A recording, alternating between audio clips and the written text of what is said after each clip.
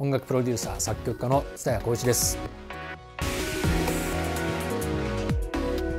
音色ですね。これが非常に重要になってきてるんじゃないですか今。音に興奮するんですよ。音が美しいことに。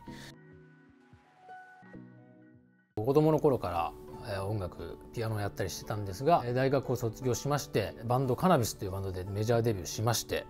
えー、ところがなかなかうまくいかなかったんですけど解散しましてそこから仕事がなかなかなかったんですけど運よく今の社長である玉井健二と出会いましてゆきさんの曲で作曲家として徐々に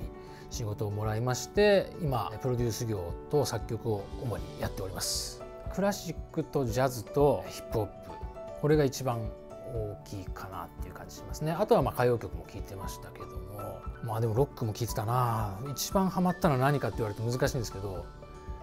クラシックかもしれないですね。クラシックとジャズかな。一番大事にしてるのは最近はですけどあんまり過信しすぎないようにというか自分のことを。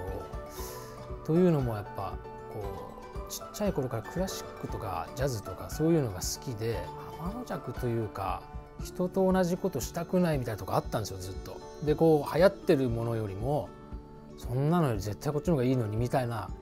風にずっと思ってきていてで音楽の聴き方自体が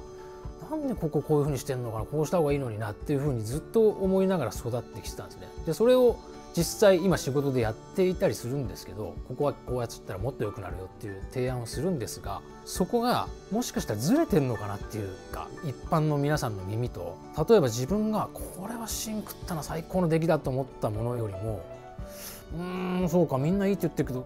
俺そんなっていうのがめちゃくちゃ売れちゃったりとかする時があったりしてだからこう自分の美しいとかいうのを自分の作品で出してるわけじゃないので人のお手伝いをして作品として出すので自分の価値観を全て盛り込むようなことといったらあれですけどそこを過信しすぎないようにとかあのちゃんと対話してどうしたいのかっていうところを大事にしてます。アーティストだったりとかスタッフですね。ですね、まあ、自分の作品だったら多分そうはならないと思うんですけどみんなで作り上げていっていろんな人が聴く作品なのでそこを意識してますかね。これはだからもう完全に僕の主観で言うとリズムメロディーハーモニーこれまあ音楽三大要素みたいなところこれがいいのは当たり前でこれも3つとも良くなきゃダメですまず。プラス音色ですね今音色ですねこれが非常に重要になってきてるんじゃないですか今むしろリズムメロディーハーモニーというかメロディーとハーモニーがほとんどなくてそのビートと音色だけめちゃくちゃいいみたいなトラップなんかまさにそんな感じだと思うんですけどそこが非常に重要だと思いますねで。これどれが欠けてもいけないかなと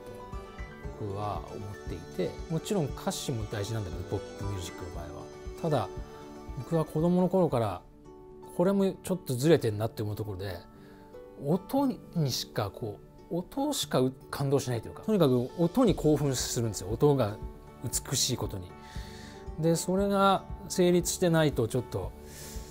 まあいても立ってもいられなくなってしまってついついそこをやってしまうんですけど、まあ、それはリズムメロディーハーモニー音色全てですねでこれをまあおろそかにしていない音楽というかだからって大げさに飾るとかそういうことじゃなくて弾き語りの曲でもじゃあどういう音色で撮るのかどういう音色で演奏するのかどの楽器をチョイスするのかとかも含めてマイクをチョイスするのも含めて